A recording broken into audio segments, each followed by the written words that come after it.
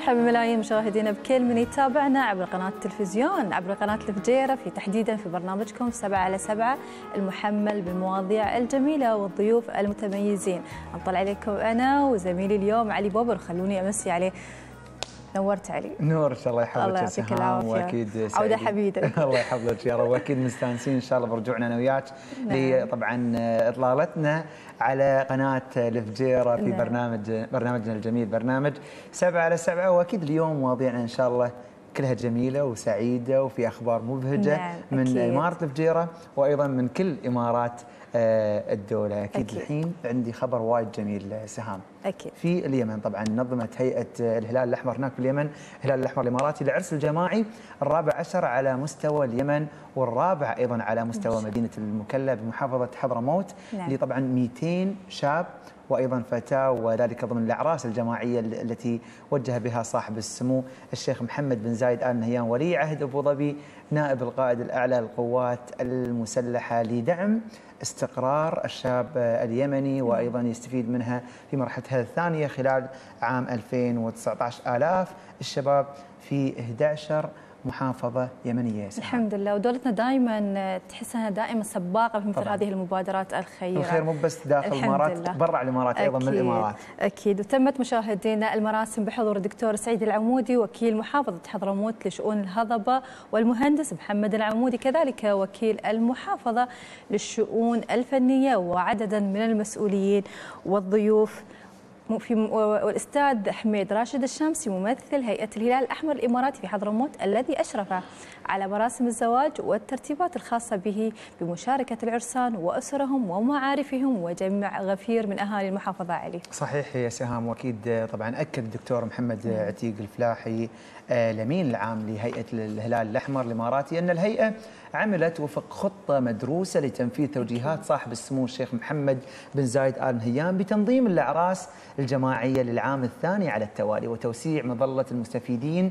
منها في اليمن برعاية سموه وأيضا بمتابعة سمو الشيخ حمدان بن زايد آل نهيان ممثل الحاكم في منطقة الظفر رئيس هيئة الهلال الأحمر. الحمد لله. ما نقول غير عمار يا دولة الإمارات. وقال مشاهدين أن هذه المبادرة تؤكد اهتمام قيادتنا الرشيدة بالأوضاع الإنسانية والاجتماعية والاقتصادية على الساحة اليمنية وبظروف الشباب اليمني الذي يواجه تحديات كبيرة من أجل تحقيق حلمه وتطلعاته في الاستقرار والحياة الكريمة. وأضاف كذلك أن الأعراس الجماعية التي تنظمها الهيئة في اليمن تعمل على تعزيز النسيج الاجتماعي وتمتين الروابط العائلية وتدعم كذلك الجهود المبذولة لتحقيق الأمن والاستقرار نعم. مشاهدينا في المحافظات اليمنية المحررة إضافة إلى أنها جسدت نظرة الإمارات الشمولية لاحتياجات الساحة اليمنية من الدعم والمساندة وأكدت كذلك على اهتمام دولة الإمارات وقيادتها بتوفير سبل الاستقرار الاجتماعي والنفسي للشباب اليمني وهذا يعكس سهام يعني لله. آه، الوعي الكبير اللي توليه قيادتنا الرشيدة نعم. للأسرة، الأسرة هي نواة صحيح. المجتمع، وأيضا أكد آه، آه، حميد راشد الشامسي أن محافظة حضرموت شهدت خلال السنوات الأخيرة الماضية نهضة تنمويه كبيرة بفضل المشاريع التي نفذتها هيئة الهلال الأحمر الإماراتي هناك والتي كان من ضمنها افتتاح مدينة الشيخ خليفة بن زايد ال نهيان في المحافظة بشقيها الوادي وأيضا الساحل مؤخرا إلى جانب عدد من المشاريع الأخرى في الصحة والتعليم والخدمات الاجتماعية. خلونا نشوف هذا الفيديو راجعين نكمل معاكم با- باقي فقراتنا. يلا.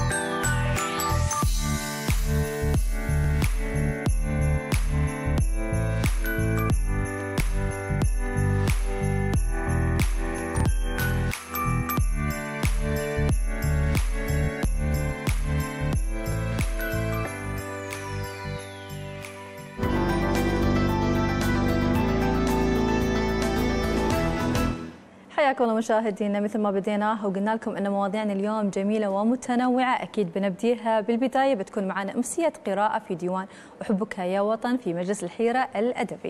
وبنروح أكيد لمبادرة إيد بإيد نجمع ونفيد بتنظيم من جمعية أصدقاء البيئة أكيد وبنسلط الضوء كذلك على مؤتمر خرفكان العلمي الدولي لدول الإعاقة والتربية البدنية المعدلة وأيضا موضوع محاضرة موضوع طبعا المحاضرة بتأثير الضجيج نعم. والهواتف المتحركة على حاسة السمع اللي نظمتها جمعية الماجد للثقافة والتراث بدبي. أكيد بنسلط الضوء كذلك على افتتاح مستشفى الأطفال والنساء الميداني في مخيم اللاجئين في الروهنجية بمبادرة من أطباء الإمارات. ما قلت لك اليوم ما شاء الله مواضيعنا كلها إيجابية وخيرة, وخيرة. الحمد لله. والحمد لله الخير موجود في الإمارات لله. وأيضا من الإمارات إلى كل العالم, العالم بإذن الله أكيد. تعالى.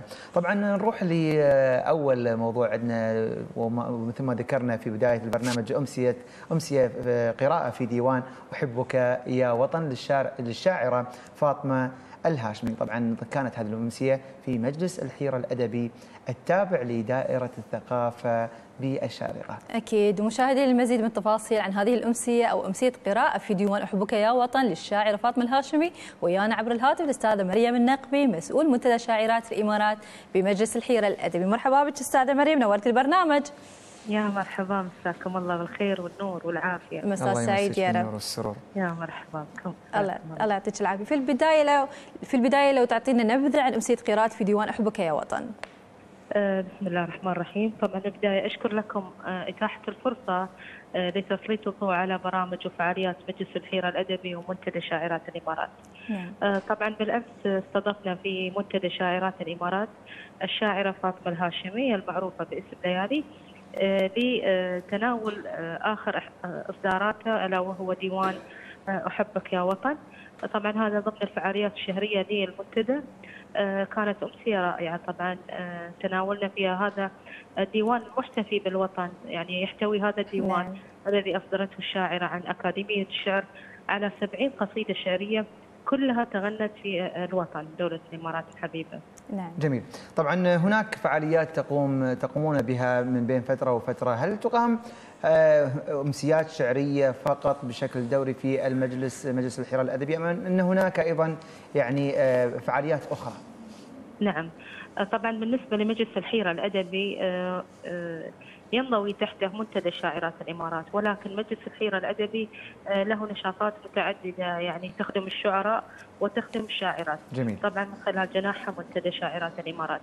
آه، هناك أمسيات شعرية هناك ندوات آه، بحثية نقدية تقام على مدار العام. هناك ملتقيات أدبية وشعرية نستضيف فيها شعراء من الإمارات ومن الخليج ومن الدول العربية على مدار السنة. هناك قراءات يعني في دواوين الشعراء. نحتفي آه، إذا أصدر شاعر آه، ديوان معين في مجال معين آه، نستضيفه لقراءة هذا الديوان لعمل دراسات نقدية حول هذه الإصدارات التي تصدر في مجال الشعر الشعبي. على مدار العام نحن عندنا ما يقارب تقريبا في منتدى الشاعرات 12 فعالية على مدار العام. وفي نفس العدد أيضا في مجلس الحيرة الأدبي. نعم. نعم. أستاذة مريم النقبي مسؤولة منتدى شاعرات الإمارات بمجلس الحيرة الأدبي. شكرا على هذه المداخلة الجميلة حبيبتي. شكرا لكم. يعطيكم العافية. الله يعطيك العافية يا رب. وأكيد نحن مكملين مع مشاهدينا. سهام ولكن بنطلع لهذا الفاصل الصغير وبعدها راجعين وياكم. خلكم ويانا.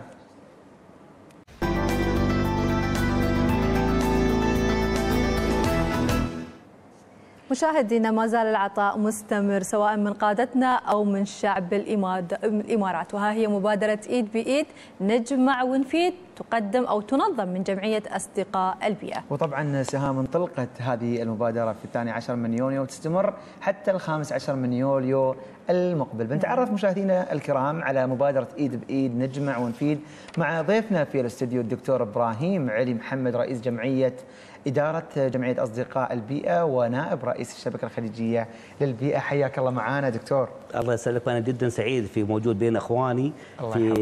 إمارة الفجيرة وأتمنى أكون ضيف خفيف عليكم اليوم إن شاء الله. ضيف جميل وخفيف أكيد. وطبعا نحن اللي سعيدين جدا بوجودك معنا. بداية نبغى نعرف معك وأيضا مع المشاهدين بنبدأ عن جمعية أصدقاء البيئة. طبعا جمعيه البيئيه من أقدم الجمعيات ذات النفع العام في دولة الإمارات نعم. طلعت بقرار وزاري في عام 1991 يعني كملنا 28 سنة طبعا آه، طبعا الجمعية النظام الأساسي إنها نزيد الوعي البيئي في المجتمع المدني نعم. طبعا مع احترام الثقافات والجنسيات أو حتى الديانات على مبدأ شفاف المصداقية بعام التسامح طبعا الجمعية صار لها فرع في أبو ظبي وفي العين ونحن قايمين ان نشتغل على استراتيجية الحكومة ان 2030 نحن بس ما بنكون بس في الأول في الأمن والصحة والتعليم حتى في موضوع البيئة نبغى نرتقي ونوصل لمرحلة القيادة تفتخر فينا. نعم أكيد دائما مفتخرين فيكم إذا بتقدمون هذه العطايا اللي بدون مقابل نقولها. خلينا نتكلم عن نبذة مبادرة أو تعطينا نبذة عن مبادرة إيد بإيد نجمع ونفيد دكتور. طبعا المبادرة نحن لاحظنا في الفترة الأخيرة كل انتهى موسم دراسي يبتدون الطلبة بالتخلص من بعض الموضوع الكتب أو الشنط نعم. أو حتى الملابس. صحيح. طبعا إحنا في ثلاث محاور نحن نركز عليها. في محور هو طبعا نشر ثقافة العمل التطوعي. وهذا طبعا سياسة الحكومة شغالة عليه. المحور الثاني إنه هو نقلل البصمة الكربونية. الملابس هاي واللي كذا قاعد تسوي بصمة بيئية أو البصمة الكربونية مصطلح نعم. جديد طبعا. المحور الثالث شغالين عليه أيضا محور إنساني. نرسم الابتسامه للمجتمعات أقل حظا سواء داخل الدولة أو برا الدولة. نعم. فبالتالي قلنا يد بيد يعني مع بعض نتكاتف. نعم. إن هل بدون ما ترمى في في اسمه في المجتمع المدني؟ لا. نحن ناخذ الموضوع هذا.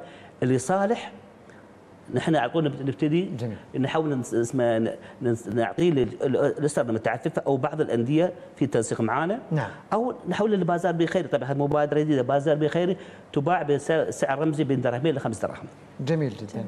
آه طبعا أنت ذكرت الفكرة بشكل عام لكن خلينا نتكلم عن آلية التنفيذ هي فكرة المبادرة كيف آه، آلية التنفيذ آه، راح تقومون عليها وما هي الأسس اللي راح تتبعونها؟ طبعا آه، نحن أطلقناها اسمها في مدينة أبو ظبي والعين لكن نعم. في توجيه صار على مستوى الدولة كامل خلاص. لأن تعاقدين طبعا مع شركتين لشركة الأوراق وشركة للملابس المستعملة نعم. على مستوى الدولة كامل. أي جهة عندها تبغى تتخلص في طبعا يدخلون على فيسبوك الجمعية. نحن شغالين على ال website لكن فيسبوك فيسبوك الجمعية في أرقام للتواصل. أتمنى الجميع يكون يشاركون في الموضوع هذا سواء ملابس أو كتب أو حتى شنط. في أرقام موجودة خلاص الشركة بتيجي لعندك عندك وتاخذ الموضوع هذا. تروح للبيت أو الموقع ايا مدارس آه، بيوت هذا. بس نتمنى إن العوائل كلها تتكاتف يجمع أكبر كمية لأن عشان آه، أوراق عسل يكون فيها ترى فيها كوست طبعا الجهة طبعا. يعني يوصل من منطقة لمنطقة. يكون ماخذ عدد كبير طبعا لكن نعم. هي تكاتف بين المجتمع المدني معنا بس نحن حاطين شركتين بالنسبة للأوراق بأي موقع في الدولة. نعم. دكتور هذه الفكرة أو فكرة هذه المبادرة من وين أتت؟ طبعا أنا أفتخر أن أعضاء الجمعية طبعا أو فوق 2500 عضو عندي في طبعا طبعا دائما في كل شهر سبعة نهاية العام اعمل عصر ذهني. طبعا هذا عصر أحد أخواتنا آه، من من من المدرسات. أطلقت الموضوع هذا. طبعا فكرة عجبتنا. طبعا نبتدي نعمل ورش عمل. الآلية صح. نوزع لجان في طيب سبع لجان عندي حاليا. للتطبيق حتى مبادرة البازار الخيري مبادرة طالبه في أول ثانوي. ما شاء الله. أنا عندي 150 كتاب. صحيح. ما أبغى أتخلص منهم. سوينا لها موضوع هذا. في طبعا في نظام إن ناخذ موافقه وزارة تربية المجتمع. نعم. أطلقنا البازار الخيري. في خلال نص ساعة بعد 150 كتاب. ما شاء الله هو صح السعر درهمين بس أحسن ما ترمى ويكون عالي للمجتمع. وأيضا المجتمع راح يستفيد من هذا الكتاب راح صحيح. يقرأ هذا الكتاب بغض النظر عن المبلغ. أنت توصل معلومة توصل آه، معرفة للمجتمع حتى لو يعني آه، ببلاش. غير كذي علي حتى كتب اليوم مناهج اليوم قيمة جدا. صحيح. يعني المواضيع الموجوده في الكتب فعلا قيمة. جدا. نعم. تأكيد كلامكم طبعا فعلا نحن ترى هالموضوع جدا قاعد لأن هذا ما خاص ما محتاج لا نحن عندنا جهات تبغى هاي. نعم. سواء مصاحف قرآنية أو أي شيء نحن ما نقول ناخذ شتى أنواع الكتب نعم. كل الكتب. لو حتى موضوع الجرائد نحن ما, يعني ما نبغى ترمى وتاكل اي أي حيوان نعم. يؤدي إلى الموضوع هذا. فنحن توسعنا الموضوع هذا. وفي توجيهات أيضا من معالي الدكتور ثاني بن أحمد الجودي في الموضوع هذا. هو طبعا سبورت الموضوع هذا. رائع. نحن دائما هنا لازم يكون في شفافيه ومصداقيه بين القطاع العام مع المجتمع المدني نعم. هي الإفادة ونقل المعرفة من أهم الأشياء اللي طبعا اللي تقومون فيها مدى أهمية تشجيع الناس دكتور على التبرع وأيضا تعزيز آه، يعني هذا المصطلح أو هذا خلينا نقول هذه القيمة قيمة التبرع ومساعدة الغير سواء عن طريق العلم عن طريق مثل ما ذكرت أنت الملابس أو الكتب أو أي شيء. طبعا المجتمع المدني لازم إحنا عارفين إحنا عندنا ثقافات كثيرة في دوله الإمارات. نعم. طبعا نحترمها بحكم عندنا قيادة رشيدة وفي شفافية ومصداقية بخصوص موضوع التسامح. لكن أنا دائما أقول نقطة. طبعا كل قطاع عام وخاص شغال موضوع إنه موضوع الاحتباس الحراري وموضوع هذا شغالين عليه. لكن نعم. شو الفائده أنت توفر لي ثمان ساعات عمل إطفاء أنوار في مقابل 16 ساعة في هدر. صح. في هدر سواء في المرافق العامة في المولات في مراكز عبادة.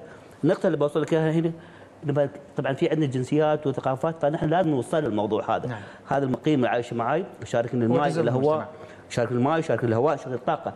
لازم كلها بصمه بيئه ايجابيه فهالنقطة تأكيد الكلام لا لازم يتفاعلون معنا هالجماعة هذا نعم. الجيل لأن هذا فعلا إذا ما نقدر نوصل يكون في في جاب بيننا وبينهم. لكن إحنا الحمد نعم. لله الحكومة ما مقصر بس أنا صوت المجتمع لازم أوصل ما شاء الله 200 جنسية نحن عندنا في الإمارات باختلاف أعراقهم ولغاتهم. هذه هذه هذا الاختلاف كيف ممكن تتوصل هذه المعلومة يعني بتنوع اللغات عندهم؟ بالتأكيد كلامك أنا في طبعا في شهر رمضان المبارك والماراثون اللي عملته وهذا استدعيت النادي المصري السوداني الأردني الهندي حتى الكنيسة جبتهم. أنتم عايشين معانا؟ شاركونا. نحن بس ما بنا آه، هو شعار لا هو تطبيق للواقع. تطبيق نعم الحمد لله. الحمد لله في الماراثون به حضر 2500 حملة تنظيف 3500 لم يأتوا من فراغ. في عمل موجود على الواقع. نحن لا نبحث عن شهره أو عن مال. خدمة الوطن. أكيد أكيد. إذا تكلمنا عن جهات المشاركة أو المشاركة المجتمعية في هذه المبادرة. طبعا جمعيه الاستقلاليه تفتخر عندنا شركاء استراتيجيين ولهم وزنهم في دولة الإمارات بداية من وزارة الخارجية والتعاون الدولي. والشكر نعم. خاص لسيدي سمو الشيخ عبد الله بن زايد.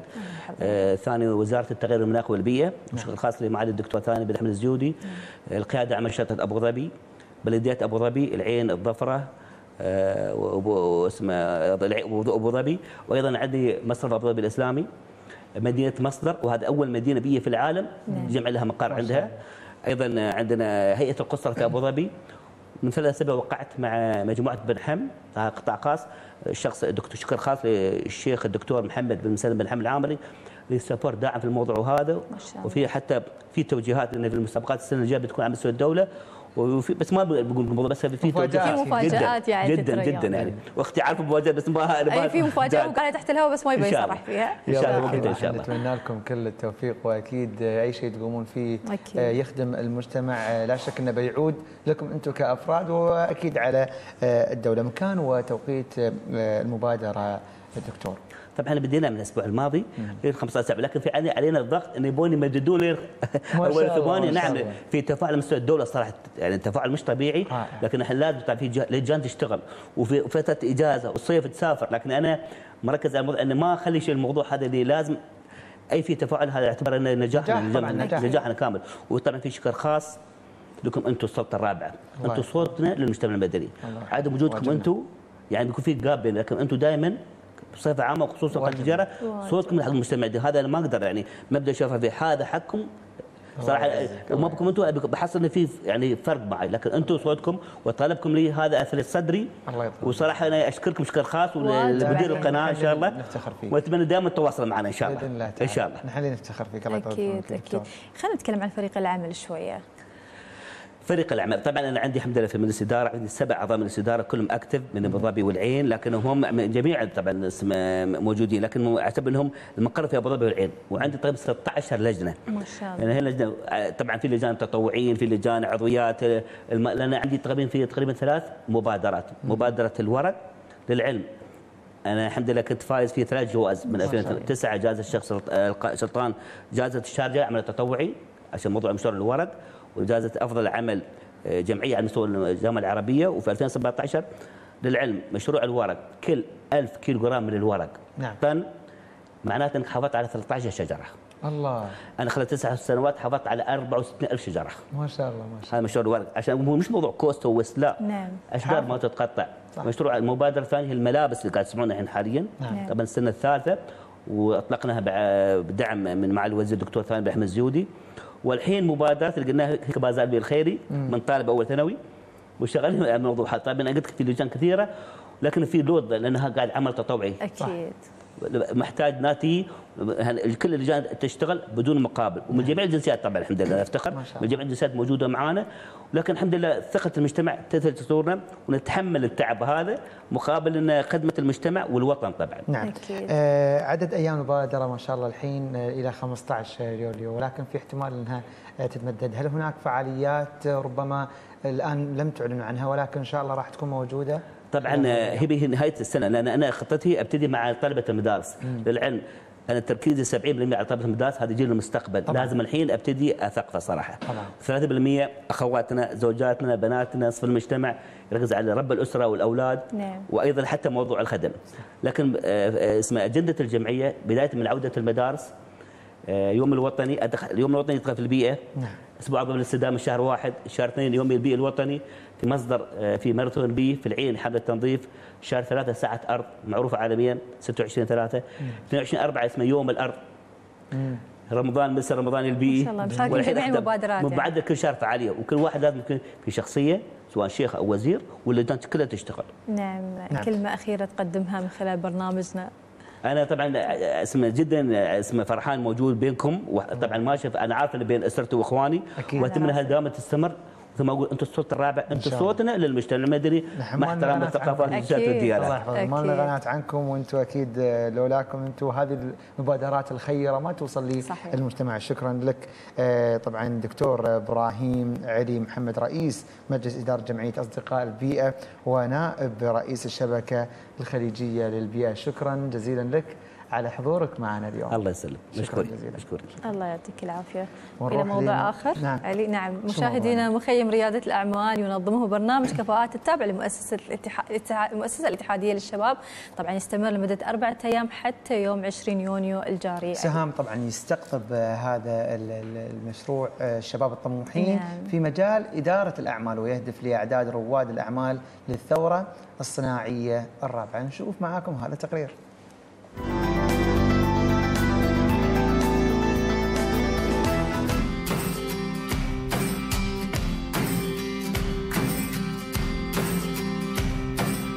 اليوم أطلقنا مبادرة مخيم ريادة الأعمال من فكرة إلى تنفيذ آه، بالتعاون مع الديوان الأميري آه، وزارة الثقافة ومؤسسة الإمارات للشباب. اليوم نحن كمجلس نجيب الشباب ونحاول نساعدهم إنهم يبدأون ال business مالهم. يكون عندهم الفكرة بس يمكن يخافون إنهم يبدأون ال business. فنحن اليوم متواجدين إن نساعدهم يطبقون هالأفكار.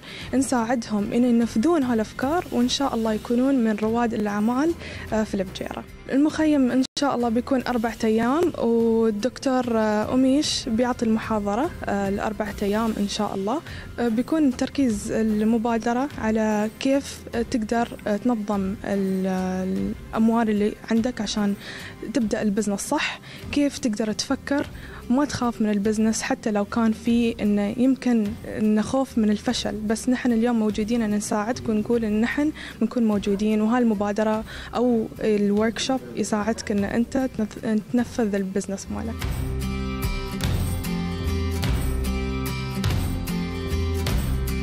سعدت اليوم بالمشاركة في المخيم آه، ريادة الأعمال. الذي تم تنظيمه من قبل مؤسسة آه، الشباب بالفجيرة آه، مشكورة لأنها مجلس الشباب بالفجيرة بالتعاون مع مجمع أعمال الشباب. كانت لي الفرصة أن نكون موجودة معهم اليوم.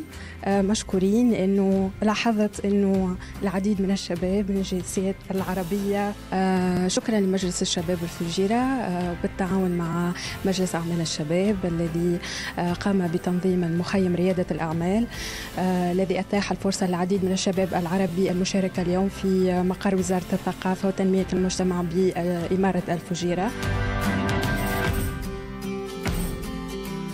أود أشكر مجمع أعمال الشباب ومجلس فجر للشباب لإتاحة هذه الفرصة آه، لنا وجميع المشاركين آه، في مشاركة آه، في هذا المخيم التدريبي لإرادة الأعمال وتطوير الفكر وكيفية بدء الأعمال الخاصة لهم وشخصيا أنا.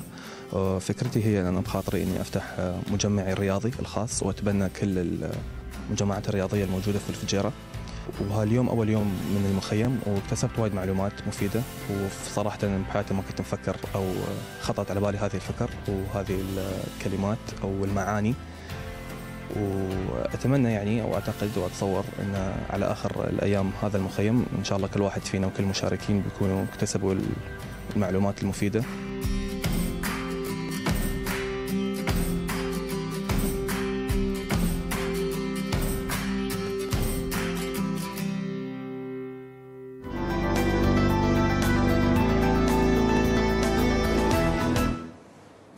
أكيد يا سهام ما نعم. زال عام الخير يعني يدر علينا بفضله. وخيره و طبعا امتداد لعام زايد أكيد. والخير الحمد لله زايد في الحمد هذا لله. العام ومن نتائج هذا العام طبعا افتتاح مستشفى الأطفال والنساء الميداني في مخيم اللاجئين في آه، الروهينجا طبعا تحت شعار نعم.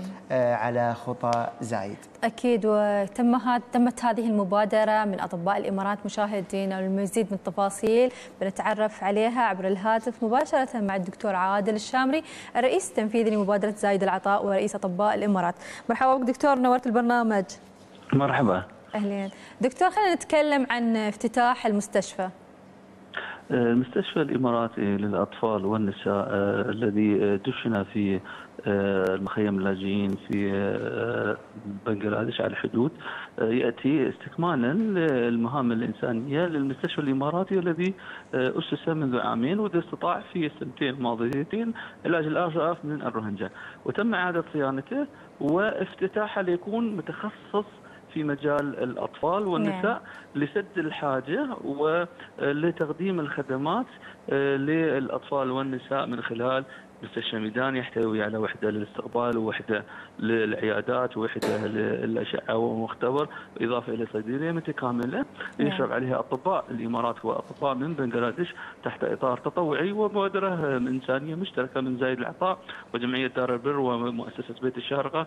الخيري ومجموعة المستشفيات السعودي الألماني في نموذج مميز للعمل ال- والشراكة الإنسانية آه، تحت إطار تطوعي ومظلة إنسانية انسجاما مع الروح الإنسانية المغفور لها الشيخ زايد بن سلطان آل نهيان وامتداد لجذور الخير والعطاء للأبناء الإمارات الذين آه، نهجوا نهجة وخطوا خطاه واستطاعوا في السنوات الماضية من تأسيس أكبر سلسلة من العيادات والمستشفيات الميدانية أكثر من 20 وحدة في مختلف دول العالم آه، وأوصلت رسالتها الإنسانية للملايين وشكلت نموذج مبتكر يحتذى به من قبل المؤسسات الحكومية والخاصة محليا وعالميا في مجال التطوع الطبي التخصصي. ويأتي انسجاما مع توجيهات القيادة بأن يكون عام آه، 2019 عام التسامح.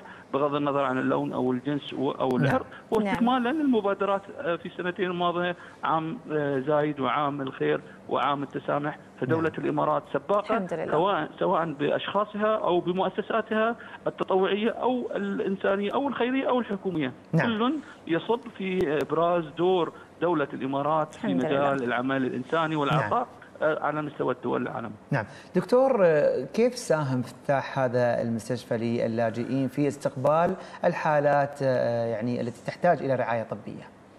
هناك أكثر من مليون ونصف لاجئ حالات كثيرة يحتاج إلى التعاون بين مختلف المؤسسات يحتاج إلى تقديم خدمات مختلفة كل على حسب استطاعته وكل مطالب بالمشاركة من مخ- في هذه الحراك التطوعي لخدمة هذه الفئات خاصة الأطفال والنساء أمراض منتشرة منها الأمراض الرئوية وأمراض ال- الجهاز التنفسي والجهاز الهضمي وأمراض القلب وغيرها من الأمراض التي لو تم الكشف عليها مبكرا وعلاجها لحدت من نسبة الوفيات آه، في المخيمات وبالأخص في فئات الأطفال والنساء. فكانت آه، هذه المبادرة آه، لتأسيس مستشفى آه، ميداني ويكون متخصص في الأطفال آه، نعم. والنساء ويكون مستكمل لعمل المستشفى الإماراتي الميداني الذي أسس من من سنتين وكان أول مستشفى عربي في- ذاك الوقت آه، يساهم مع المستشفيات نعم. الأخرى ومع الحراك العالمي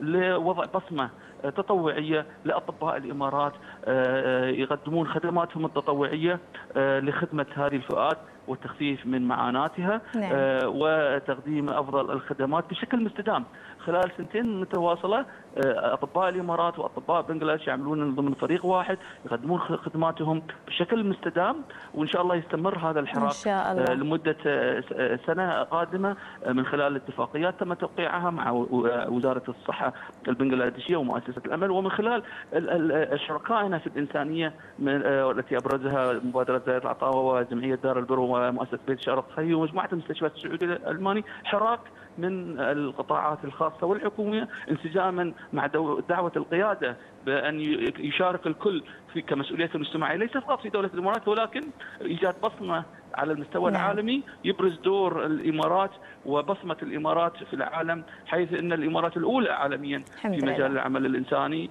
والعطاء، الأولى عالميا آه، آه، في مجالات الخدمه الإنسانية ونحن كأطباء الإمارات آه، سوف نعمل بشكل مستمر ومكثف مع أطباء بنجلاديش في المرحلة القادمة وتحت إطار تطوعي كمبادرة غير حكومية تطوعية نساهم في استقطاب مزيد من الأطباء وتأهيلهم وتدريبهم في مجال الطب الميداني ومن ثم تمكينهم في العمل في مستشفى الامارات الميداني للأطفال والنساء والذي تم افتتاحه بوجود وحضور ومن معالي أو سعادة سفير الإمارات في بنغلاديش والعديد من المعنيين في مجال العمل الإنساني والذي أشادوا بالمستوى المميز للمستشفى الميداني وتجهيزاته وأشادوا بالدور التطوعي للأطباء سواء نعم. الإمارات أو بنغلاديش للمساهمة بشكل تطوعي لخدمة الفئات المعوزة وليس فقط في بنغلاديش هناك عندنا مستشفى ميداني في المغرب ما شاء الله. عندنا مستشفى ميداني في باكستان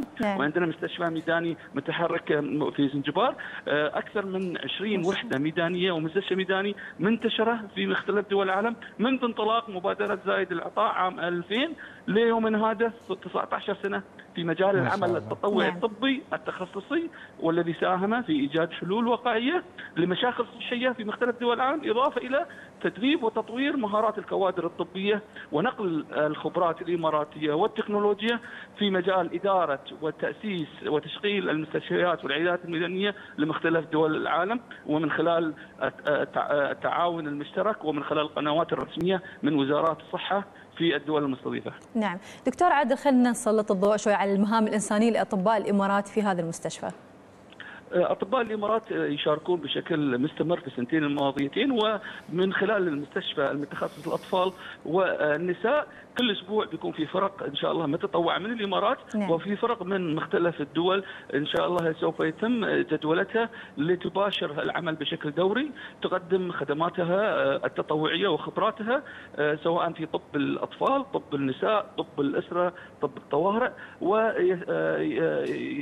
ويساهمون آه، في الكشف المبكر عن هذه الأمراض وبالأخص الأطفال والنساء، إضافة إن هناك تكون وحدات متنقلة في هناك أول عيادة متحركة للاطفال والنساء سوف تدش إن شاء الله بعد أربع أسابيع بعد اكتمال نعم. آه، تجهيزاتها والأشياء الفنية والإدارية يكون هناك في مستشفى ميداني ثابت وهناك بتكون عيادة متحركة آه، نعم. تجوب مختلف المخيمات للاجئين الروهنجا تقدم لهم الخدمات التوعوية والوقائية إضافة إلى الخدمات التشخيصية والعلاجية للتخفيف من معاناتهم وإنقاذ حياة الالاف من هذه الفئات نعم.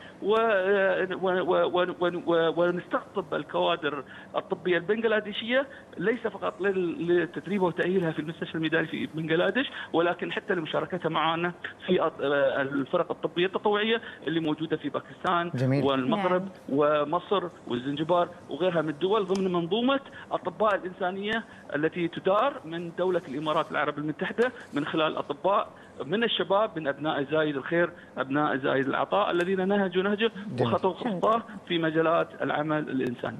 نعم أكيد دوركم مشكور دكتور، طبعا دعنا نستعرض معا بتفصيل الحلول الواقعية للمشاكل الصحية التي طبعا آه، جاءتكم وأيضا قدمتم أنتم آه، حلول وعلاج من خلال مبادرة زايد العطاء. طبعا المستشفى الميداني يعمل جنبا إلى جنب مع الجهود الدولية آه، في هذه المخيمات آه، من أطباء آه، بلا حدود والمؤسسات الدولية المعنية. يتميز المستشفى الميداني الإماراتي إنه مستشفى تطوعي تخصصي في مجال الطفولة والأمومة، اضافه إنه يعمل بشكل تطوعي للتخفيف من من معاناة هذه الفئات من خلال الخدمات التشخيصيه والعلاجية والوقائية، وإحنا نقدم هذه تكون مكملة ومش المشاركة ونوجد حلول واقعيه من خلال العيادات المتحركة ونساهم في هذه الأزمة ولو بجزء يكون مكمل للجهود الدولية والإنسانية آه، للتخفيف من معاناه أكثر من مليون ونصف لاجئ من اللاجئين الروهينجا والذين طبعا يعانون ظروف سيئة سواء في الإقامة أو الصحة أو التعليم. نعم دكتور خلينا نسلط الضوء شوي أو نتكلم عن خطط مبادرات أطباء الإمارات.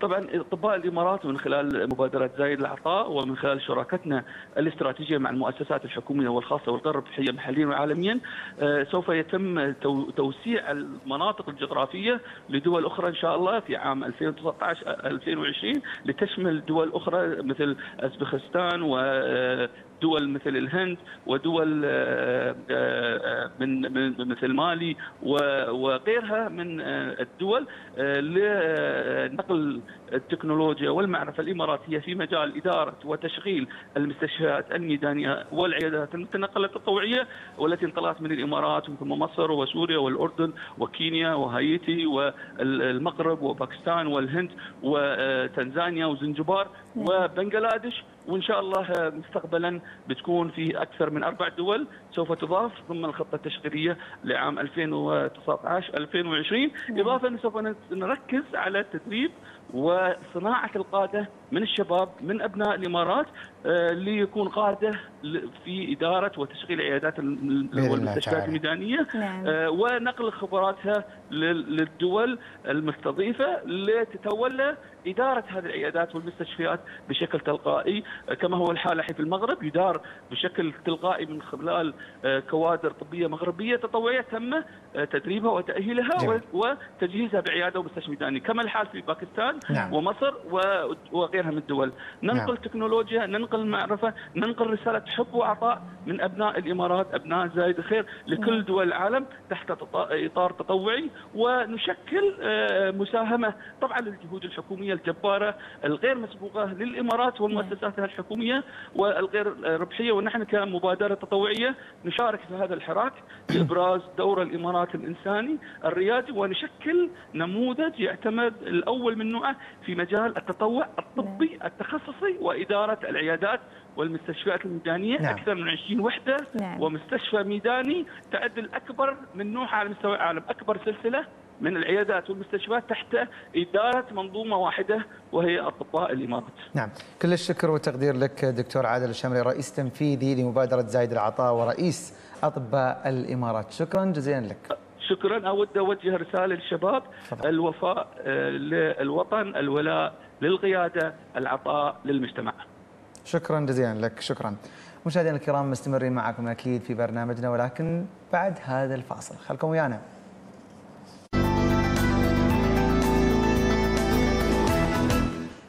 حياكم الله مشاهدينا من بعد هذا الفاصل. أكيد مع التطور التكنولوجي اللي يشهد العالم بشكل عام صارت هناك تأثيرات مباشرة علينا من طبعا أجهزة عديدة وأكثر جهاز تليفون. تليفون صح؟ اي نرقد عدالنا.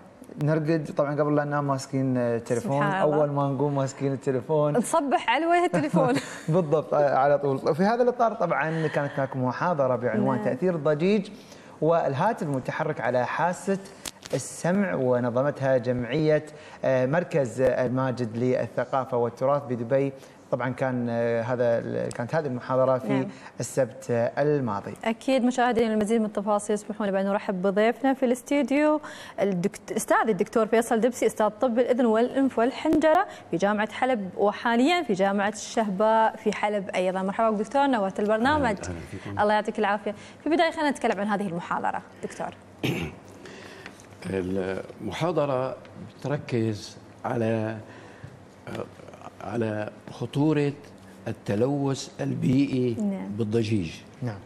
وخطورة سوء استخدام الهاتف المتحرك المقصود بالضجيج اللي هو الصوت المرتفع الشدة اللي أكثر من 85 ديسيبل نعم. ولهذا دخل لحياتنا المدنية العصرية فضجيج الطائرات مثلا بيزيد عن 100 ديسيبل ضجيج السيارات ضجيج آلات التعمير نعم. الروافع آه، ضجيج المعامل والآلات والآلات اللي ممكن زائد إنه هذا بيأثر طبعا هذا شكل من أشكال التلوث صح. مثل أي تلوث نعم. بيئي, آخر كيماوي أو نووي نعم. لأنه عام أيوه زائد موضوع الهاتف المتحرك اللي اللي دخل حياتنا وهو ضروري للحياة وقدم سعادة للإنسان لكن الهاتف المتحرك يا سيدي آه، آه، ممكن إذا كان يستخدم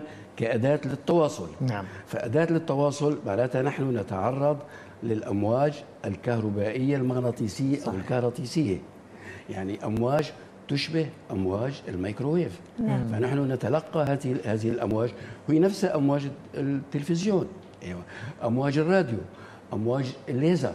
فنحن نتلقاها بهذه الآلة مجمعة ونضعها على الأذن نعم. يعني قريبة من, من أذن الباطنة بما يعادل 3 سنتيمتر نعم هلا وجود هذه الفوتونات أو الأمواج في في الهواء ما هو ضار بكمياته العادية نعم. لكن وضعها وتركيزها الجهاز بيتلقاها وبتحط بنحط الآلة نحن قرب الأذن على مسافة لا تزيد 3 سنتيمتر عن الأذن الباطنه ممكن الزمن والتكرار يؤدي إلى تخريب مستمر أو دائم في السمع.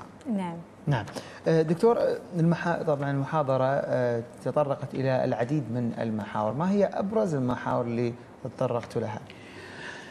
الموضوع الأساسي هو تبيان آلية التأزي بالأمواج الصوتية. نعم. الأمواج الصوتية هي أمواج حركية. ف... وآلية التأزي آلية أزاها يندرج ضمن الحركة الصوتية الحركة الاهتزازية اللي هي مثل أي رد. فنحن بنعرف أن الأمواج الصوتية العالية اللي بنسميها فوق الصوت. يعني الإنسان يسمع من 16 آه، من 16 هرتز ل 20000 لكن الأعلى من هيك نعم. ممكن تستخدم في الطب في في تحطيم الحصاد تحطيم الحجر نفجر بها الحصات المساني حصات اللعاب حصات المرارة فسوء يعني آه، لفت النظر إلى خطورة الأمواج نعم. العالية الشدة اللي حتى نحن ما بنسمعها بس ممكن تكون آه، أذاها كبير علينا زائد موضوع اللي ذكرته منذ قليل الأمواج الكهرطيسية اللي هي عبارة عن فوتونات منتشرة تركيزها على البدن يؤدي إلى الإحماء heating نعم. يعني هلأ مثل مثل الميكروويف. فأنت وقت بتركزه مثل الليزر.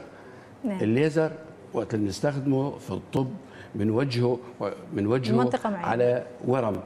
فنحرق الورم. نعم. الليزر الأحمر ال CO 2 ليزر دوره بيحرق فنحن وقت عم نوجه هي الأمواج الكهرطيسيه شكل من هذا النوع طبعا ما هي بها الشدة لكن طولة الاستخدام وتكراره نعم. ممكن يؤدي إلى آه، يعني نسميه سرعة عطب السمع لأن نعم. الإنسان بالحالة الطبيعية بعد ال 55 بده يصيبه شكل من أشكال نقص السمع مم. أما نحن وقت اللي عم نستخدم الآلة الآلة ونتعرض للضجيج عم نسرع نعم. الشيخوخه صح. فأنا صادفني مثلا بالسنة الماضية آه، مريضتين صبايا في العقد الرابع يعني بالثلاثينات 32 35 مستخدمين الهاتف المتحرك لمدة تزيد عن 10 سنوات نعم. 15 سنة بيستخدموه ساعات طويلة للتواصل أو لسماع الموسيقى نعم. فلسماع الموسيقى الضرر بالأصوات العالية وبالتواصل بالأمواج الكهرطيسيه نعم. فكانوا يشكوا من أعراض ضعف سمع أو صعوبة تمييز الكلام اللي بسميه يعني ما إنه ما عاد يسمع بس بقول لك ما عاد أفهم خاصة اللي بيستخدموا مثلا باذن واحدة مثلا اليمين بقول لك اذن اليمين ما عاد أحسن أوضح فيها الكلام. بنقل التليفون للاذن اليسار. الشغلة الثانية شعوره بالطنين بقول لك أنا عم بشعر ب نعم. وشي بدان دائما. الشغلة الثالثه بعضهم شكوا من دوار. نعم.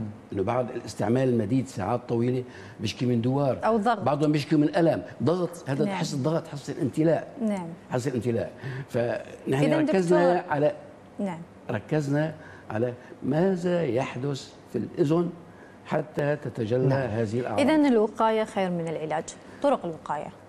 طرق الوقاية. طرق الوقاية يا سيدتي إنه نحن بالنسبة للضجيج البيئي نعم.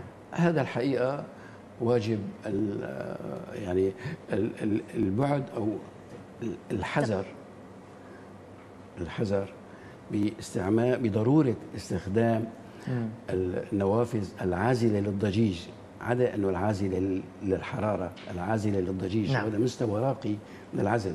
بعدين استعمال العوازل في البناء نعم. هي وحده البعد عن أماكن آه، عن أماكن الضجيج هذا بالنسبة نعم. عامة أه برجع شوي لموضوع الأخطار إيه؟ يعني دكتور بس بعدين برجع نعم. لك لموضوع آه، الوقاية لكن نشوف معك معك عفوا بعض إيه؟ الصور للأذن اشرح لنا عنها مع الكاميرا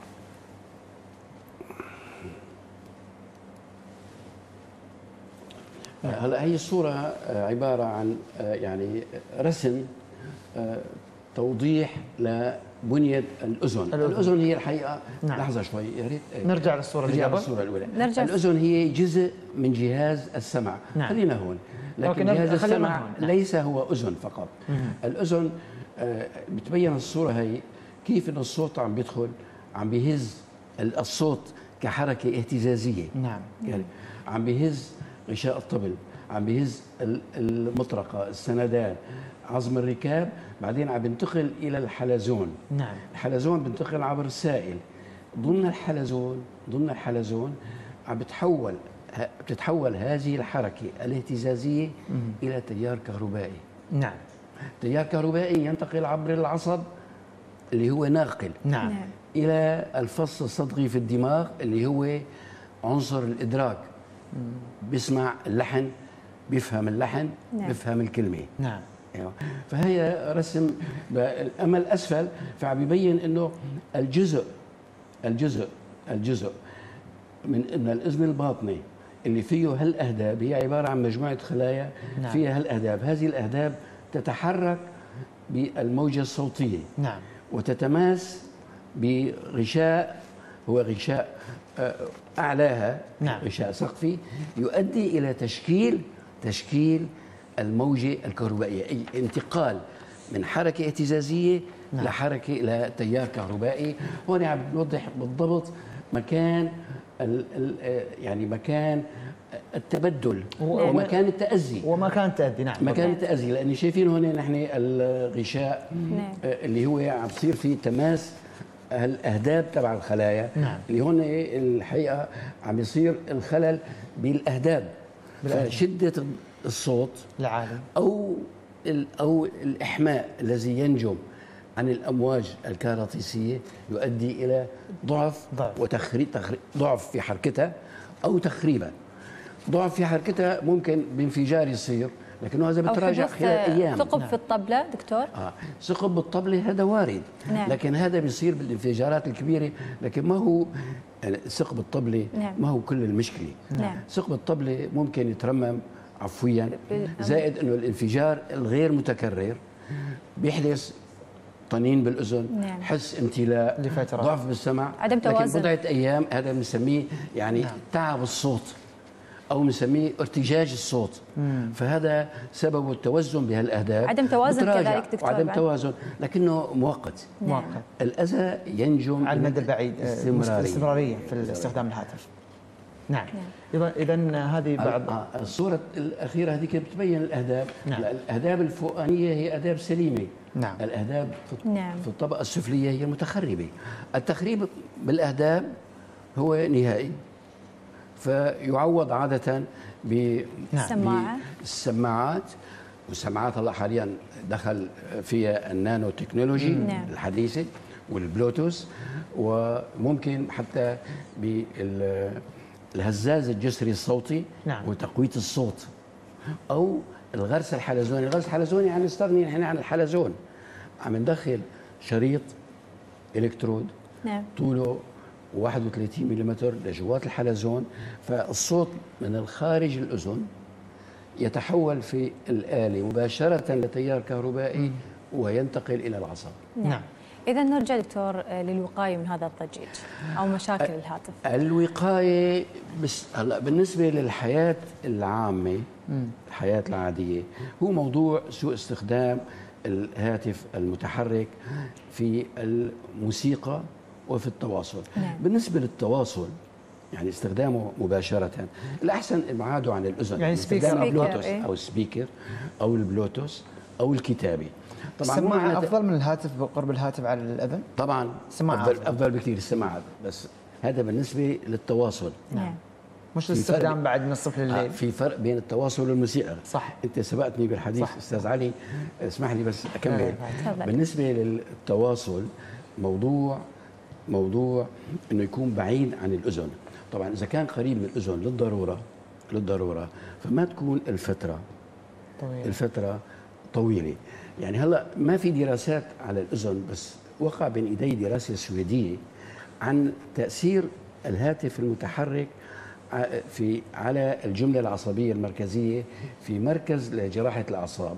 وجدوا على إنه استخدام ساعة يوميا بخمس ساعات خمسة أيام بالأسبوع على مدى عشر سنوات وجدوا ارتفاع في نسبة سرطان الدماغ سبب الإحماء. أما على الأذن لحد الآن ما في دراسة واضحة نعم. على الموضوع.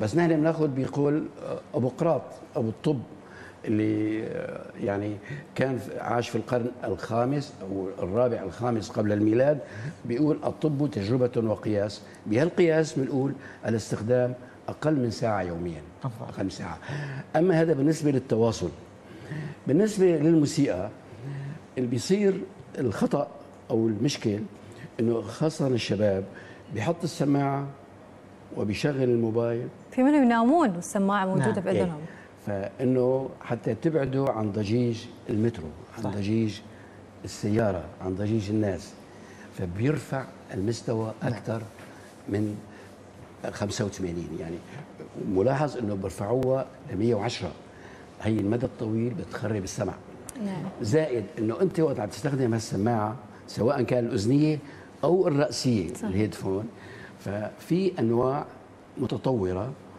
آه ممكن تفرجيك درجة الصوت هي وحدة الشغلة الثانية وقت بيكون هو ماشي بالمترو فرضا وعم يتعرض لضجيج برفع الصوت حتى يخفي الضجيج. هذا خطأ كبير لأن في سماعات مت... الكواليتي تبعها جيدة نعم. هي بتحجب الضجيج. الشغلة الثانية يعني حجب الضجيج هذا ضروري. الشغلة الثانية وال... والمهمة إنه بعض السماعات أنا بحكي بالنسبة للمستمعين للموسيقى. نعم. بعض السماعات الرديئة السماعات الرديئة. مضرة. الأمواج اللي منخفضة التواتر يعني وفي صوت مرتفع التواتر بالنسبة للهرتز يعني رفيع وحاد وفي صوت آه، منخفض التواتر نعم. مثل الهدير. نعم. السماعات السيئة تنقل الصوت المنخفض التواتر مثل آه، مثل آه، مثلا صوت الكمان بعض بعض الأصوات الموسيقية يعني. بتنقله أو بعض أصوات البيانو بتنقله نقل سيء. نعم. فبضطر يرفع السماعة. صح.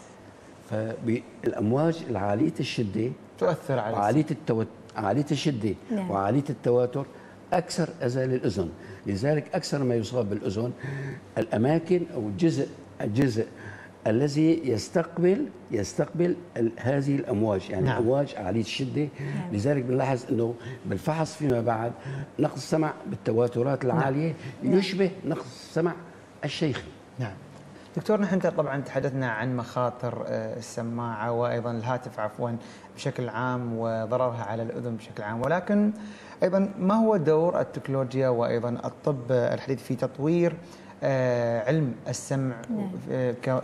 كمقابل لهذه الأجهزة التي تؤثر على السمع؟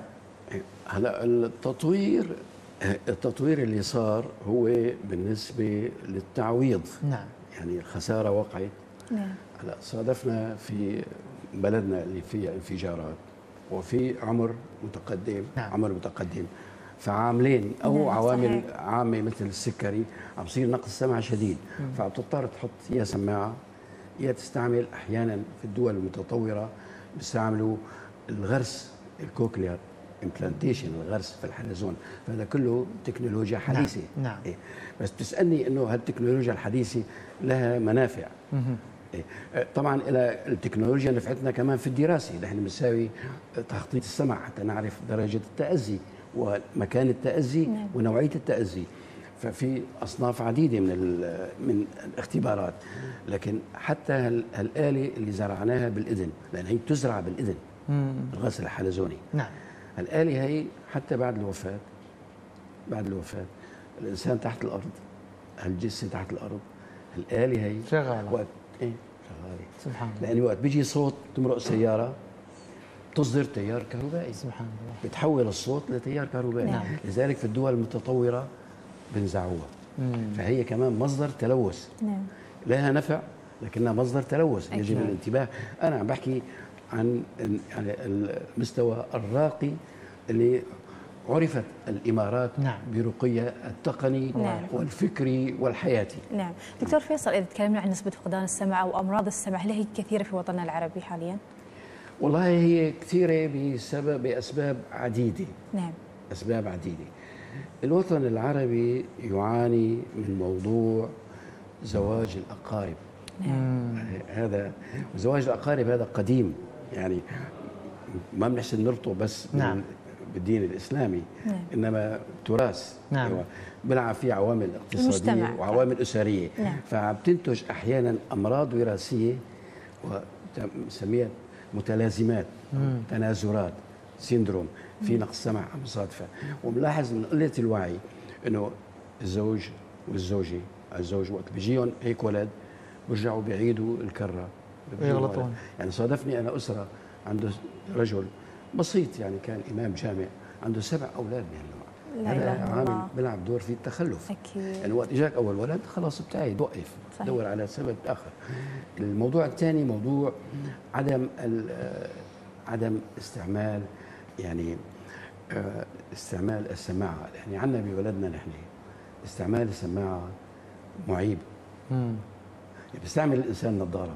لما نقول لواحد له استعمل سماعة؟ بقول لك لا. إيه صح. صح ولا لا؟ صح إيه. بينما أنا بالغرب صادفت مرة قابلت في بريطانيا آه، مدير شركة بتنتج سماعات. فحسب لي قال لي المفروض الناس كلها فوق ال 55 تحط سماعة مثل ما بتحط النظارة أريح لك إيه. في بلدنا هلا نحن بنعرضها على الناس نعم. بيرفضوها حتى على الأطباء نعم فالاجتماع يعني المجتمع عم بيلعب دور بهالموضوع عم بيلعب دور بهالموضوع. هذا واحد من الأسباب. زائد موضوع كمان سبب آخر وهو ال- يعني انخفاض المستوى العلاجي السكر نعم. الديابيت واحد من أسباب نقص السمع. نعم. أيوه. نعم. زائد سوء الاستخدام طبعا. نعم. هذا نعم. طبعا موضوع آه، ثق- يعني الكبار السن ما يرضون يحطون مثلا سماعات. مم. آه، هل يبغى يمكن موضوع نفسي إنه ما يبغى يقول إني أنا كبرت. ربما صح صحيح، دكتور؟ صحيح، صحيح. وشيء منهم حتى ما يرضى يودر السواقة. يتم يسوق لآخر. لحظه لو اسمح لي أنا أبدي ملاحظة بس نعم. مسؤوليه الدولة مسؤولية في كل الدول. تجاه هذا الموضوع؟ آه، نعم. وضع لاقطات الهاتف المتحرك على المدارس. مم. هذا جريمة. نعم. وبلاقوا لها تبرير بعضهم لأن في لهم مصالح اقتصادية فيها. نعم. لكن تضع أنت فوق مدرسة فيها أطفال وأساتذة عم بيقعدوا فيها ساعات. صحيح ما عم بيناموا فيها ميلين يعني قصدك اللي هو نحن نسميه الاريل بال- أول- بالعامي طيب. نعم. هذا- عواميد ال- الإرسال. نعم. هذه الإرسال خطيرة يعني. والالتقاط أيوه. نعم. نعم. ثبت علميا على إنه الساكنين حواليه نعم. على المدى الطويل عم يتعرضوا لنقص السمع معلومة هذا واجب. الدولة إبعادهم. هلا نحن صادفنا يعني صادف في بعض الدول انه نقاشات ناس بتشكك إنه بيضر ما بيضر. بسبب مصالح اقتصادية للشركة. نعم. يتج- يتجاهلون هذا اللي بتخدم هالنوع يعني من تلوث البيئة نقول بعد نعم. يعني. طبعا. طبعا. دكتور نحن سعيدين عنوان جدا أكيد بهذا. اللقاء. واستفدنا يا سهام أكيد، اليوم. فعلا أكيد. كان حوار ممتع. والمشاهدين أيضا استفادوا من آه، هذا الحوار وأيضا نصيحه للمشاهدين إنهم ينتبهون على أعمارهم أكيد. وأكيد السمع والبصر هو من أهم شيء. يعني أهم شيئين في لله. آه، الإنسان آه، ونتمنى إن شاء الله السلامة للجميع شكرا لك نعم. آه، دكتور طبعا على وجودك معنا اليوم سعدنا بهذا اللقاء كلمة أخيرة حاب تختم فيها شكرا لاستضافتكم واجب علينا واجب طبعا. أنا وجودي في دولة الإمارات بدعوة معالي السيد جمال الماجد. نعم. أيوه. وجودي معكم هو جزء من نشاط مركز جمع الماجد الثقافي والتراث. نعم. وهي ما هي أول زيارة. إنما في زيارات سابقة ونشاط آه، فكري الله يعطيك مستمر. الله يعطيك العافية دكتور. أنا بشكركم وبتمنى آه، ألتقي فيكم إن شاء الله في زيارة أخرى. الله يعطيك العافية الاستاذ الدكتور فيصل دبسي أستاذ طب الأذن والإنف والحنجرة في جامعة حلب سابقا وحاليا في جامعة الشهباء شكرا على تواجدك اليوم معنا برنامج 7 7 الله يعطيك العافية يا رب. والحين علي وين بنسير؟ الحين بنسير طبعا لمؤتمر طبعا الصحفي الخاص بمؤتمر خرفكان العلمي الدولي لذوي الإعاقة والتربية البدنية المعدلة. طبعا أقيم صباح أمس الاثنين في الشارقة. نعم علي تحت رعاية سمو الشيخ عبد الله بن سالم القاسمي نائب حاكم الشارقة نائب رئيس المجلس التنفيذي وتنطلق مشاهدين فعاليات الملتقى في 29 و30 يونيو الجاري بالشارقة المزيد خلونا نتابع معكم هذا التقرير.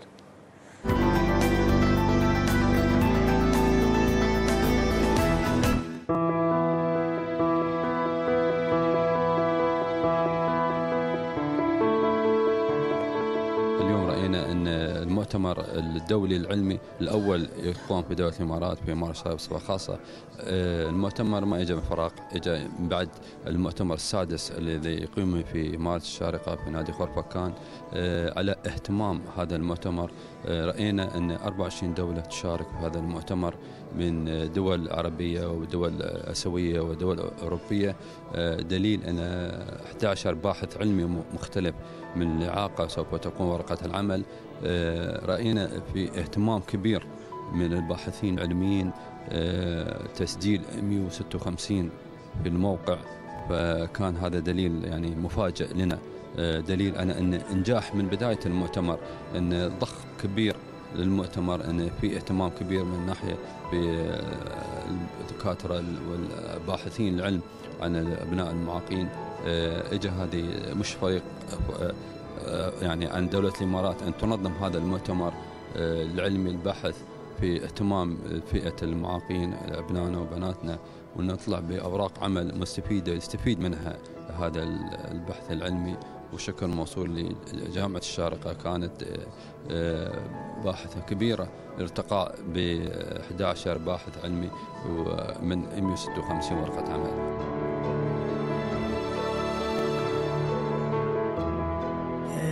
المؤتمر يعتبر المؤتمر السادس ولكن آه، هذا المؤتمر يعتبر الأول على مستوى المنطقة والشرق الأوسط نظرا لحضور قامات آه، رياضية من الاتحادات الدولية ممن سيثرون هذا المؤتمر بخبراتهم العالمية. آه، وأيضا ولله الحمد آه، تم تثبيت ما يقارب أكثر من 165 آه، شخصية راح يحضرون هذا المؤتمر وإحنا خلاص وقفنا قبول عدد الحاضرين ولكن الحمد لله رب العالمين هناك بحوث قيمة تم انتقائه من خلال اللجنة العلمية اللي إن شاء الله راح تضفي على الساحة الرياضية عامة وساحه المعاقين خاصة.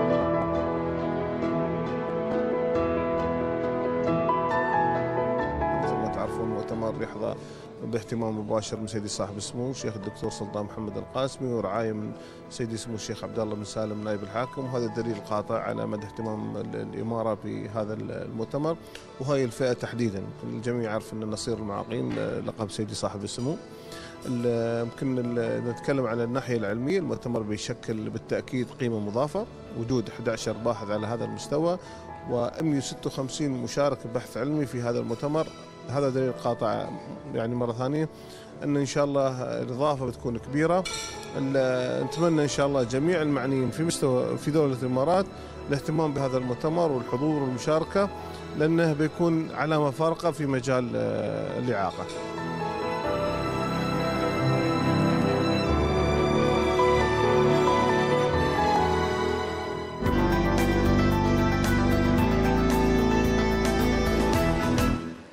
للمزيد طبعا عن هذا الموضوع بنتعرف مشاهدينا الكرام عن مؤتمر خرفكان العلمي الدولي لذوي الإعاقة والتربية البدنية والمعدلة مع ضيفنا في الاستوديو الأستاذ لؤي سعيد علاي رئيس اللجنة الإعلامية لمؤتمر خرفكان العلمي الدولي لذوي الإعاقة والتربية البدنية. حياك الله أستاذ لؤي. نورتنا أستاذ لؤي. سعيدين جدا فيك. أنا سعيد فيكم صراحة. الله يعطيك العافية. في البداية أستاذ لؤي خلينا نتكلم أو لو تعطينا نبذة عن مؤتمر خرفكان العلمي الدولي لذوي الإعاقة أو لاصحاب الهمم طبعا في البداية أشكركم على الاستضافة أنتم شركاء أساسيين مع نادي خرفكان للمعاقين وإحنا حقيقة يعني نشكركم على هذه التغطية من بداية من أمس للمؤتمر إلى اليوم.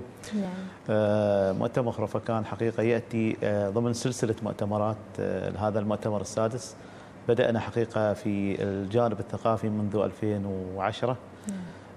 حقيقة يمكن هذا المؤتمر يتميز بأنه اختلف نوعا ما من المؤتمرات الأخرى بأن فتحنا أكثر عن في الجانب البحثي نعم. العلمي بالنسبة لعدد الدول والباحثين.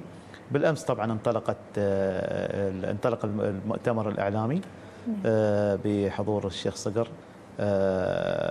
رئيس اللجنة العليا. طبعا هذا المؤتمر برعاية سمو عبد الله بن سالم نائب حاكم الشارقة. بإذن الله المؤتمر راح يكون في الشارقة هناك في فندق الشيراتون وتاريخ 29 و30 راح يكون طبعا 12 باحث راح يكونوا موجودين منتقين على مستوى العالم وبحضور إن شاء الله بإذن الله 156 ما شاء الله. باحث آخرين راح يناقشوا نعم. البحوث اللي منتقاه. جميل، أستاذ لؤي ما مدى أهمية إقامة هذا المؤتمر برأيك؟ طبعا إحنا كنادي خرفكان المعاقين لم نكتفي بمسألة التربية البدنية والرياضية بشكل ميداني انتقلنا كذلك للمسألة العلمية البحتة لعكس صورة أن المعاق بحاجة لاهتمام مباشر بالجانب نعم. العلمي كذلك مش بشكل عشوائي كجانب تدريبي أو جانب بدني. نادي خرفكان المعاقين يمكن هذه النسخة السادسة نحن يعني من خلال قناتكم ومن خلال هذه الشاشة الجميلة ندعو حقيقة كل من يهتم بالجانب الرياضي وخاصة للخاص بذوي الإعاقة أصحاب الهمم. اليوم كل المؤسسات موجودة لدمج أصحاب الهمم سواء كانت في التربية والتعليم سواء كانت في الأندية سواء كانت في في في الفعاليات المختلفة على مستوى الدولة. إحنا نقدم حقيقة باكورة من البحوث العلمية المنتقى للاستفادة منها سواء على مستوى الأندية أو مستوى المؤسسات اللي تقدم خدماتها للمعاقين في الجانب الرياضي وكذلك إن شاء الله النفسي. نعم. أستاذ لؤي خلينا نتكلم عن الدول المشاركة معكم في هذه المؤتمر في هذا المؤتمر. آه إن شاء الله راح يكونوا من من من آسيا نعم. والدول العربية وأوروبا وكذلك جنوب أمريكا البرازيل. تقريبا يعني نقول دول الخليج الإمارات موجود منها باحثين كذلك عمان كذلك البحرين والكويت من مصر كذلك باحثين من الأردن من كندا من ألمانيا ما شاء الله. كذلك باحثين. وما يميز هذا المؤتمر إنه هو اعتمد في الاتحاد الدولي. كذلك راح يحضر إن شاء الله بإذن الله رئيس الاتحاد الدولي الحالي ورئيس الاتحاد الدولي السابق. نعم. ما شاء الله. آه لؤي آه بالنسبة للبحوث التي طبعا تم تقديمها ما هي المواضيع التي تم التسليط عليها؟ وأيضا كم عدد البحوث التي تم تقديمها؟ هو تقريبا وصلت عدد البحوث أكثر من 156 بحث. ولكن حقيقة في لجنة خاصة في انتقاء الأبحاث الخاصة في في المؤتمر وأهداف المؤتمر.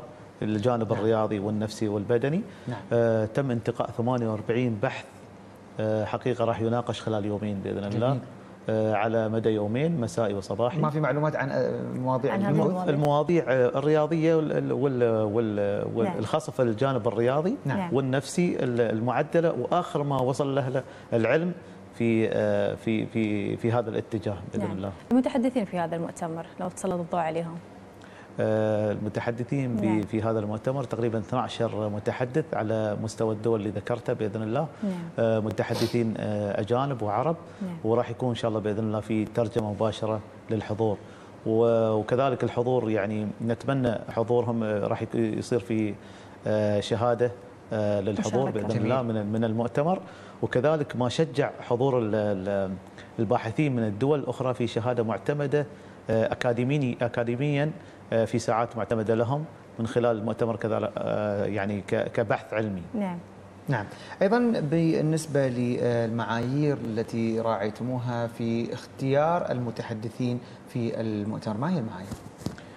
طبعا اللجنة العلمية اللي اللي اللي قامت في انتقاء البحوث ارتأت أن يكون التوجه خاص في في التعديل اللي هو اللي خاص في الرياضة رياضة المعاقين وآخر تعديل فيها يمكن العنوان لو لو تشوفوه في يعني يمكن المشاهدين الرياضة المعدلة وهي يمكن اللي يسمع الرياضة المعدلة ما راح يفهمها شو بالضبط نعم. المعدلة بحيث إن الرياضة العادية تعدل كي تتناسب مع المعاقين نعم. مثل كرة السلة مثلا على سبيل المثال ما تحتاج كراسي بالنسبة لغير معاقين ولكن بالنسبة للمعاقين هناك كرسي ولكن بنفس قوانين كرة السلة نعم. الغير معاقين فحقيقة تم انتقاء الباحثين بناء على المعايير الدولية والعالمية اللي تواكب آخر ما وصل لها العلم يعني. نعم، أهم ما مناقشتها أمس في المؤتمر الصحفي.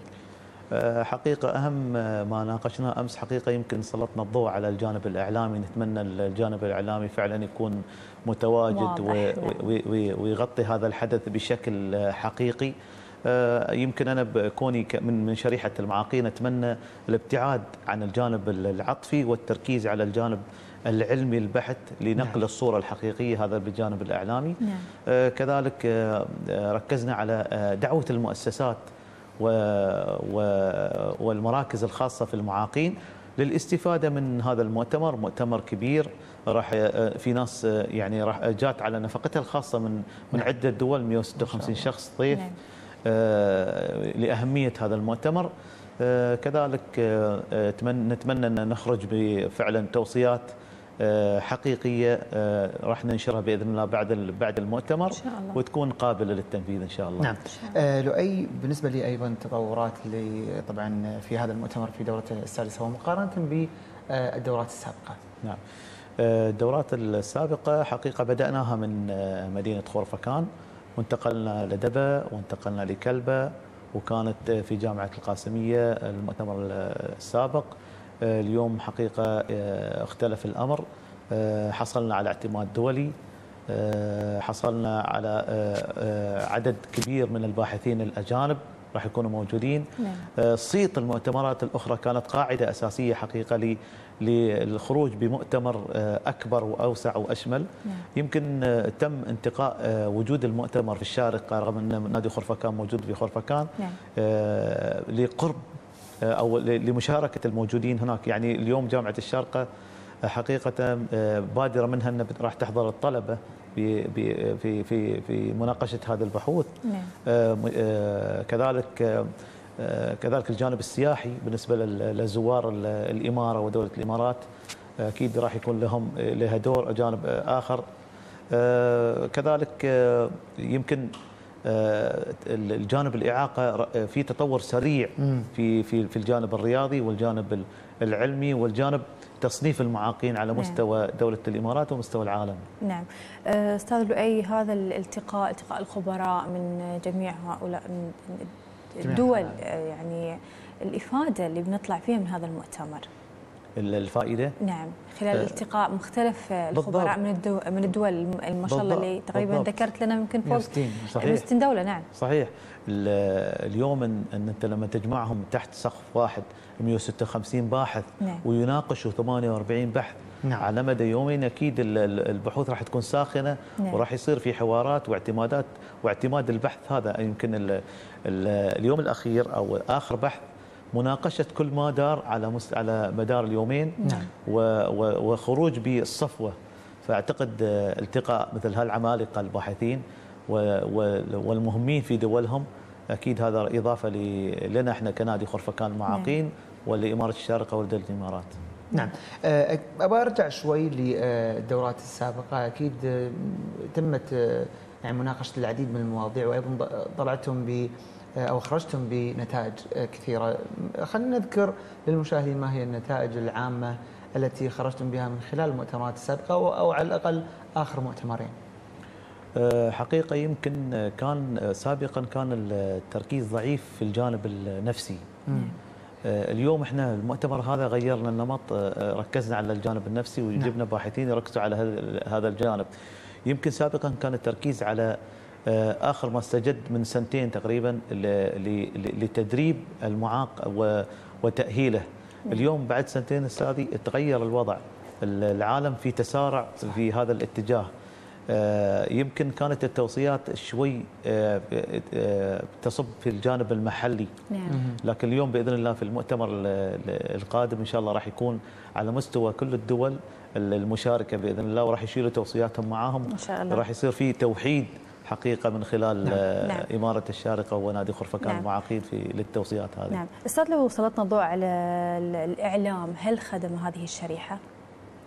الإعلام الإماراتي والله نعم مؤخرا صار في آه، وعي نعم. جيد بالجانب الإعلامي لكن إحنا ما نتمناه انه يصير فعلا آه، التركيز على الجانب آه، رفع الثقة للمعاق نعم. وليس الجانب العطفي نعم. يعني اليوم الإعلام يمكن يركز على كيف يتحرك المعاق كيف صحيح. يقعد نعم. كيف كذا إحنا نتمنى يصير آه، وعي كذلك للمجتمع إن كيف نستفيد من هالمعاق صحيح. وانتزاع أجمل ما فيه. أكيد. يعني أيضا هذه اللغة ما تغيرت آه، مؤخرا يعني قبل كم سنة كنا نشوف إن هناك جانب ما بنقول عاطفي ولكن جانب يعني تثقيفي لكيفية التعامل مثلا مع المعاق أو كيفية أو آه، إبراز إن هذا المعاق أو هذا الشخص هو عنصر فعال ويعمل كباقي أفراد المجتمع. ولكن اليوم أتوقع أن اللغة تغيرت. اليوم هناك لغة سوية بين جميع أفراد المجتمع ومنهم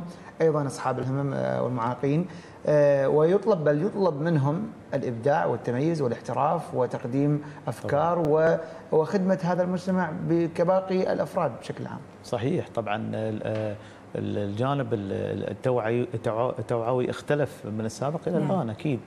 آه، ولكن إحنا طماعين كاصحاب همم أكيد. نريد الأفضل.